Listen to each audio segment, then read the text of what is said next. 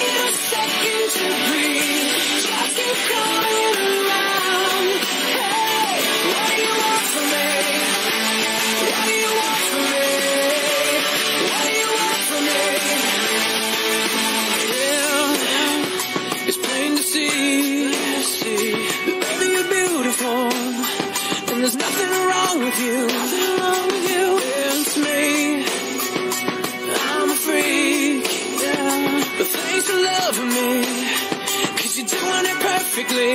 Perfectly. Yeah, there might have been a time when I would let you slip away. I wouldn't even try, but I think you could save my life.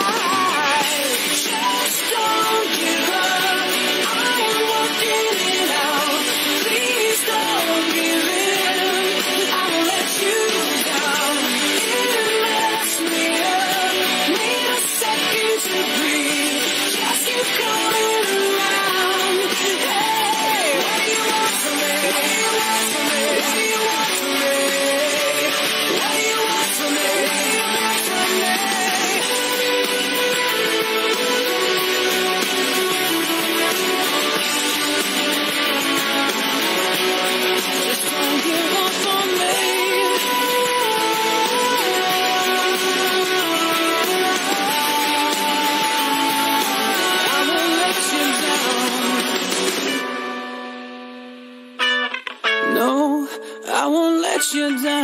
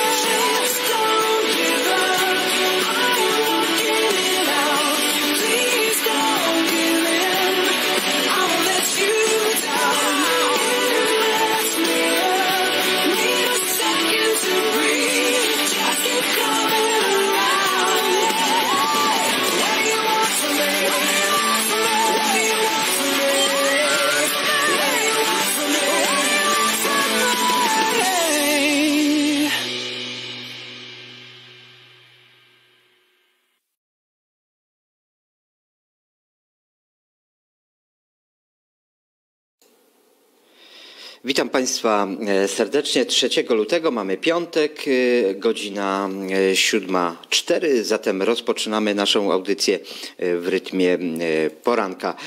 Cóż, dzisiaj będzie wizyta w szpitalu powiatowym w Limanowej, będzie również też taka obrazkowa wizyta w Państwowej Straży Pożarnej w Limanowej oraz na lodowisku w tym barku, ale o tym troszkę później.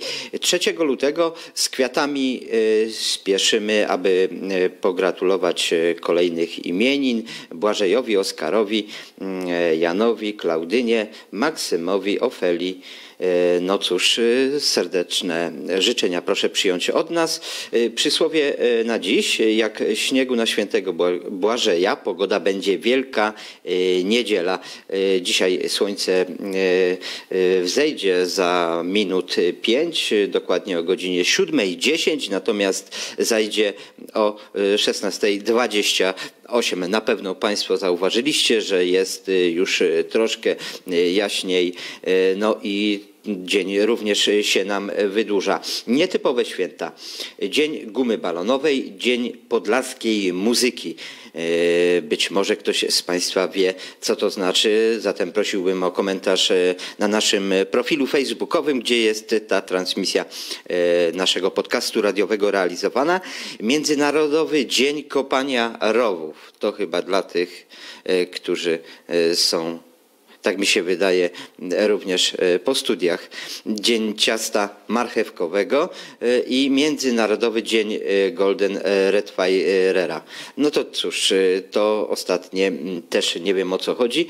A cytat wybrałem sobie otóż taki. Można oczy zamknąć na rzeczywistość, ale nie na wspomnienia Stanisław Jerzy Lec. E, No to mniej więcej tak to, e, taką sentencję na dzisiaj e, sobie tutaj dla Państwa przygotowałem. Kalendarz historyczny, tylko jedno dzisiaj takie wydarzenie, chociaż chyba ważne, zwłaszcza jeżeli chodzi o klimat na zewnątrz. W 1987 roku Artur Heiser i Jerzy Kukuczka dokonali pierwszego zimowego wejścia na ośmiotysięcznik No to y, Państwu również życzę zdobywania takich ośmiotysięczników e, na co dzień. A skoro, y, że y, mamy, tak jak wspomniałem, święto ciasta marchewkowego, no to cóż, nie mogło niczego innego zabraknąć jak grupy oczywiście Lady y, Janusz Panasewicz, Jan Borysewicz, Marchewkowe Pole.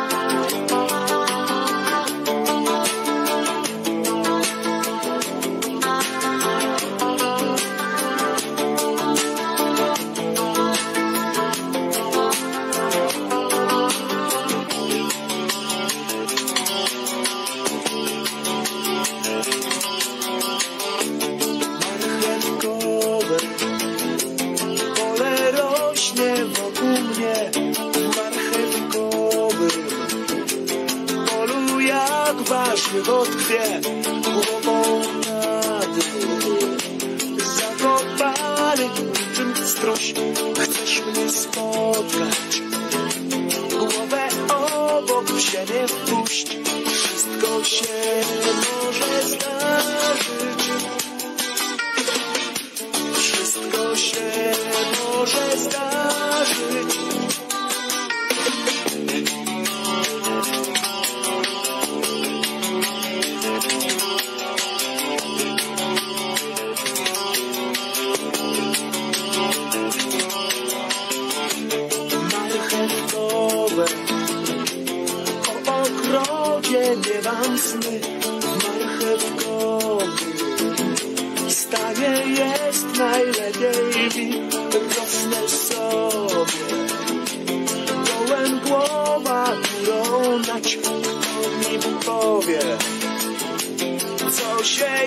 jeszcze może stać wszystko się może zdarzyć.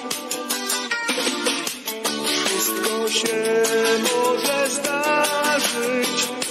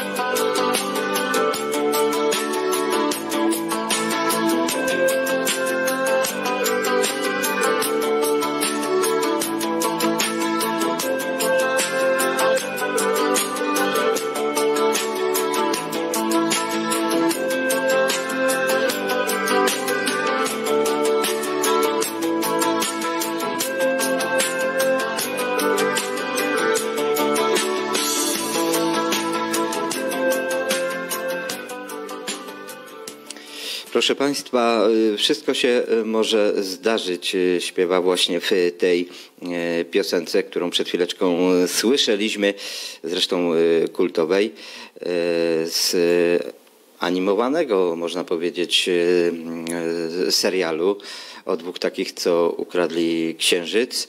Y, Wszystko się mo- może zdarzyć również w związku z tym, że zamknięto mm, Izbę Wytrzeźwień w Nowym Sączu, ale ta decyzja, mm, którą podjęli radni Nowego Sącza, a była to propozycja prezydenta y, Ludomira Handzla, y, no, spowodowała, że również w Limanowej no, pojawiły się problemy w związku z tym, że właśnie mm, to miejsce zostało zlikwidowane. Ale po miesiącu od właśnie likwidacji Izby problem ma także i Szpital Powiatowy w Limanowej, gdzie mm, właśnie na szpitalnym oddziale ratunkowym tam trafiają osoby, które są niestety nietrzeźwe i niejednokrotnie się awanturo, y, awanturują i zaburzają rytmy pracy zarówno y, pań pielęgniarek, y, personelu szpitala, jak i również lekarzy.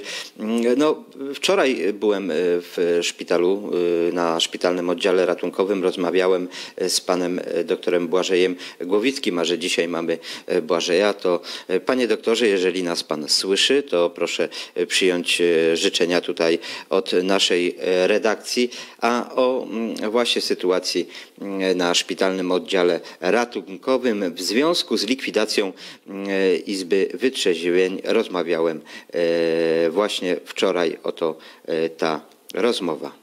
Panie doktorze, czy w związku z zamknięciem Izby Wytrzeźwień w Nowym Sączu, y, tutaj w Limanowej zwiększyła się liczba osób, które y, pod wpływem alkoholu są y, właśnie na szpitalny oddział ratunkowy przyjmowane? Wiemy, że w Nowym Sączu szpital ma poważne problemy. Wczoraj właśnie taka konferencja była. Lekarze, pielęgniarki apelują do prezydenta Nowego Sącza, pana Ludomira Handzla, o to, aby jednak przywrócić tą Izbę Wytrzeźwień. Jak sytuacja wygląda tutaj w Limanowej? Sytuacja jest dosyć e, poważna, mianowicie pacjentów e, pod wpływem alkoholu codziennie hospitalizujemy od, od kilka osób. Jest to liczba zmienna, natomiast e, faktycznie zamknięcie Izby Wytrzeźwień w Sączu spowodowało narastające, większą ilość tych, tych osób. Dlatego też borykamy się z problemem, ponieważ nasz personel musi przez to więcej spędzić czasu nad tymi osobami pod wpływem alkoholu. Są to osoby z nieoznaczalnymi e, już promilami e, alkoholu we krwi, e, którzy są w fazie deliryjnej też często, którzy są w stanie właśnie upojenia alkoholowego, którzy nam utrudniają tak naprawdę pracę tutaj na, na sorze. Duży to jest problem w naszym powiecie. Widzę, że to jest trochę tak temat nie do, nie, nie do końca chyba jakoś brany pod uwagę, bo, bo niejednokrotnie to jest, to jest i, i bolączka e, tutaj rodzin, którzy, którzy przychodzą do nas i proszą o jakąś pomoc, żeby im ich przyjmować na odtrucie, przyjmować na dalsze leczenie. Temat, który, e, który powinien być poruszany, który powinien być, na, na który powinien być dofi- dofinansowany naprawdę. Jakieś, roz, jakieś rozwiązanie powinno być znalezione. To są osoby naprawdę e, z problemami i bezdomni, i e, którzy są upojeni alkoholowo, którzy mają różne ciągi alkoholowe, kilkudniowe, kilkutygodniowe, którzy wracają z delegacji i, i, i tak naprawdę mm, mają różne sta, stany odstawienne, więc e, personel się skupia i próbuje im pomóc tak naprawdę kosztem innych pacjentów, tak, tak, którzy, którzy są w stanie zagrożenia życia. W jaki sposób im y, wy, w cudzysłowie oczywiście pomagacie, bo no, one mogłyby trafić w zupełnie inne miejsce. No, tu szpital chyba nie jest do tego, aby tutaj te osoby trzeźwiały chociażby. Tak, właśnie w większości to polega na ich trzeźwieniu. Bo taka osoba, która jest pod wpływem alkoholu i zrobi rozróbę gdzieś w domu i powie, że, że chce sobie coś zrobić, że po, potencjalnie ma jakieś myśli samobójcze, to żeby została skonsultowana psychiatrycznie, to musi być trzeźwa. Więc oni tutaj przyjeżdżają i tak naprawdę trzeźwieją i nam przeszkadzają. Niejednokrotnie wychodzą stąd, potem wzywamy policję, bo się ktoś oddalił, prawda, bo miał węflon i tak dalej. Więc tu polega na podawaniu płynów, płynoterapia plus y, terapia, leczenie jakieś sedatywne i, y, i kontrolowanie ich parametrów po prostu życiowych. Więc to, to tak naprawdę są łóżka zajęte, które mogą być wykorzystane dla osób naprawdę potrzebujących. Czy w tej praktyce lekarskiej zdarzyło się panu taki jakiś skrajny przypadek y, osoby, która tutaj trafiła, no nie wiem, rozrabiała, y, czy no, założy się, że taka osoba również się nie kontroluje, więc trzeba było ją w jakiś sposób uspokoić bądź y, no, z- tak zadziałać, żeby ona po prostu no, y, spędziła tutaj ten czas tylko i wyłącznie po to, tak jak mówimy, żeby wytrzeźwiała. Ciężko mi poruszyć jakiś konkretny przypadek, bo, bo tych sytuacji było bardzo dużo, prawda?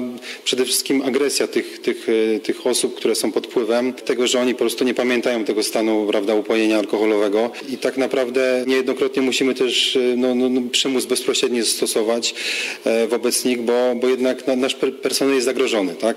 My niejednokrotnie musimy się z nimi siłować i, i to jest po- ponad mo- moje, nasze możliwości, prawda, do, do ogarnięcia. Więc tak naprawdę potrzebujemy miejsca, gdzie one mogą trzeźwieć tę osobę, tak?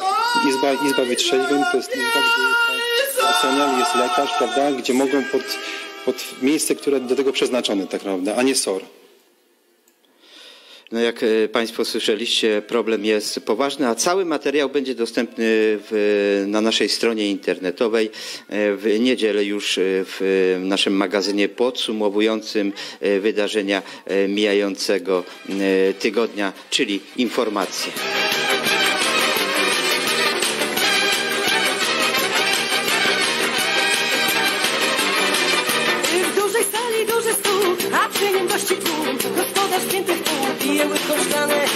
Chciałbym to znieść, jak można to na cześć. Ojczyzny, której wieś przyszło życie nasze.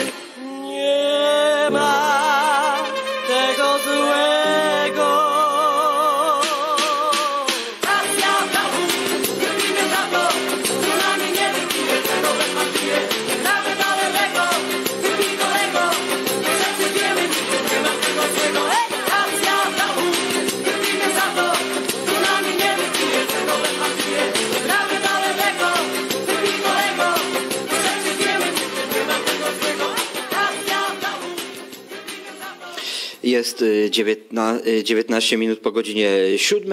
Y, Teraz y, trochę przeniesiemy się mm, y, na taflę y, lodowiska y, do Tymbarku, ale też będziemy w budynku Państwowej Straży Pożarnej w Limanowej.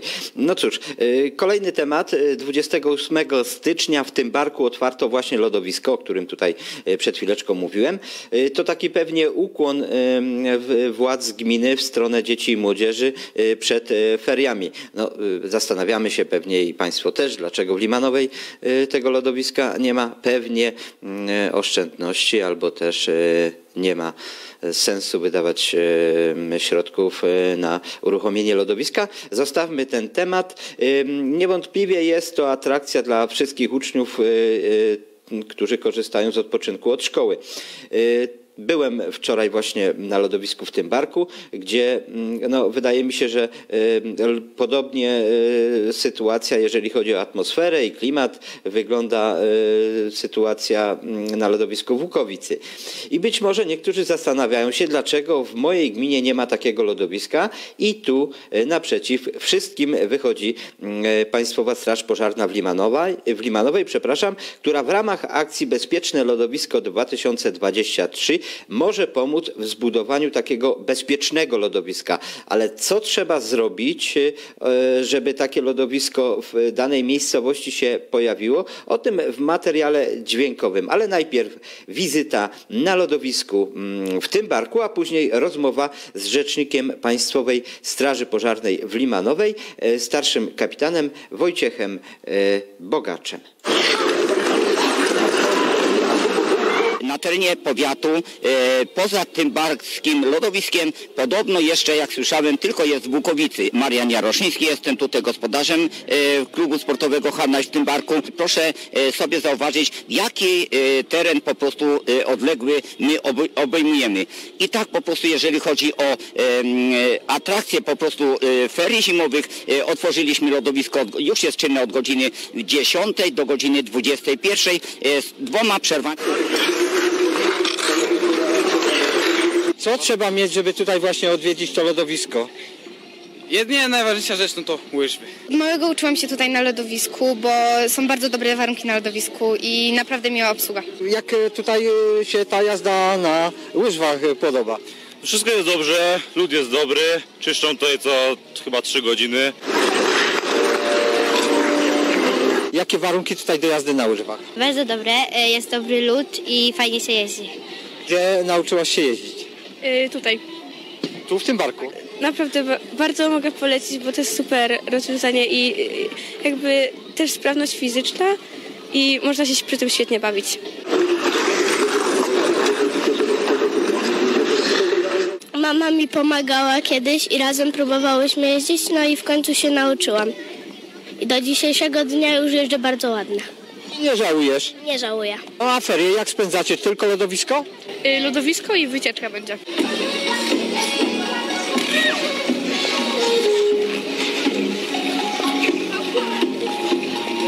Większość e, młodzieży, po prostu szczególnie młodzieży, e, woli sobie atrakcyjnie pojeździć do godziny 21. E, Jest to fajna atmosfera, fajny po prostu tutaj klimat.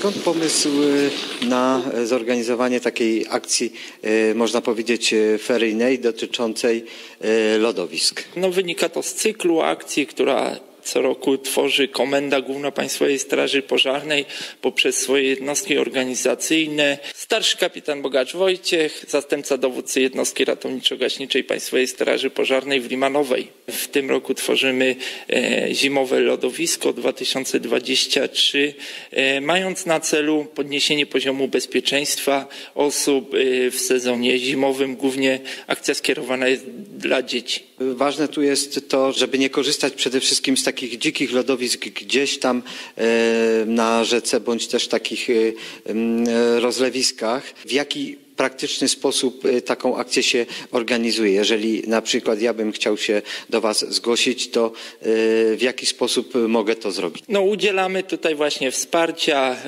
w, tworzeniu takiego lodowiska na pisemną zgodę administratora terenu bądź dyrektora szkoły. E, wraz z pisemną zgodą, e, prośbą trzeba dołączyć zgodę na pobór wody, jak również zgodę na utworzenie takiego logo- lodowiska, czyli zgodę właściciela terenu. Ta akcja jest e, bezpłatna? Oczywiście akcja jest bezpłatna. Dodam jeszcze, że przed y, skierowaniem takiej prośby do nas y, w gestii tutaj administratora, właściciela tego terenu jest przygotowanie odpowiednie takiego terenu. Trzeba wyrównać podłoże, usypać y, wały w celu takim, żeby ta woda zatrzymała się w określonym miejscu. No i możemy jeździć. Dokładnie. Życzymy bezpiecznych ferii. Właśnie, życzymy bezpiecznych y, ferii, bo y, jesteśmy na y,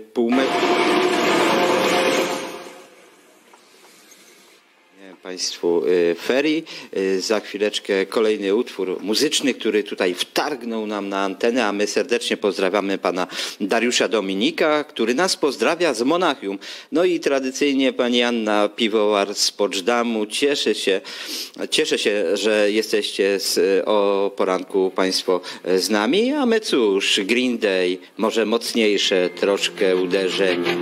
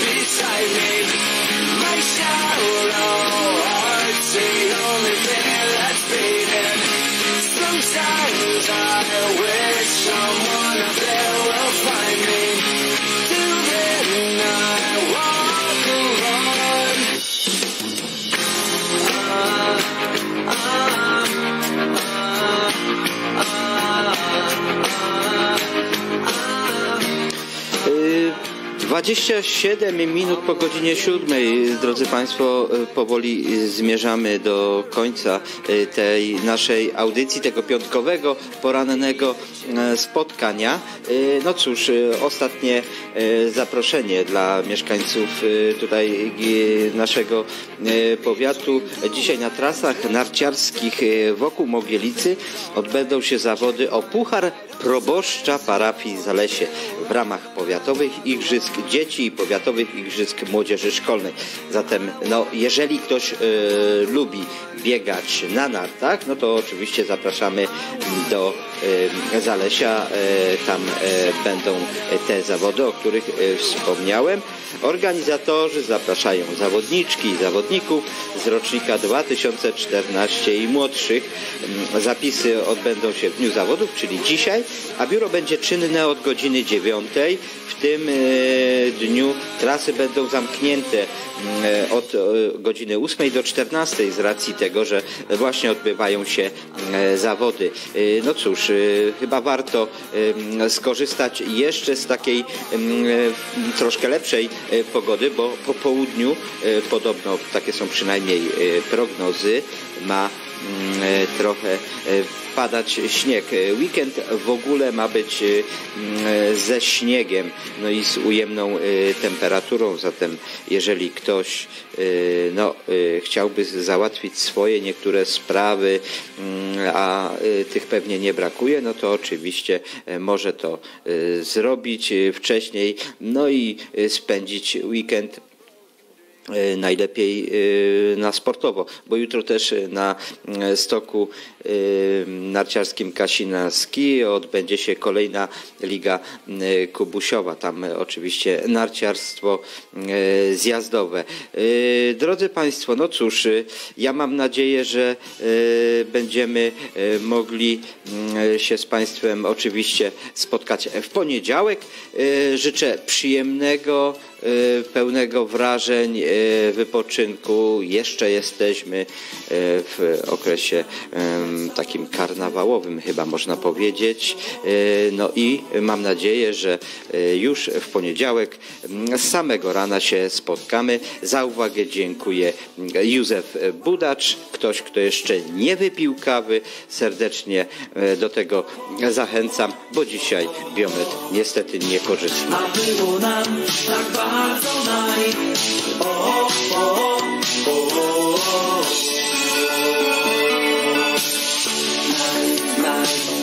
najpiękniejszą byłaś tam.